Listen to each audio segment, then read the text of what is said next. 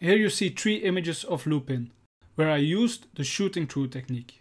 The first image is shot with a 200mm lens, the second one with a 100mm, and the third one with a 50mm lens. Normally I don't use the shooting through technique with my 50mm lens, but for this tutorial I did and I was pleasantly surprised with the result. Although 50mm isn't my first choice for this technique, it's still possible to get nice results with it. Using this technique results in soft dreamy images. And all this is achieved in camera. These images only need minimal post-processing.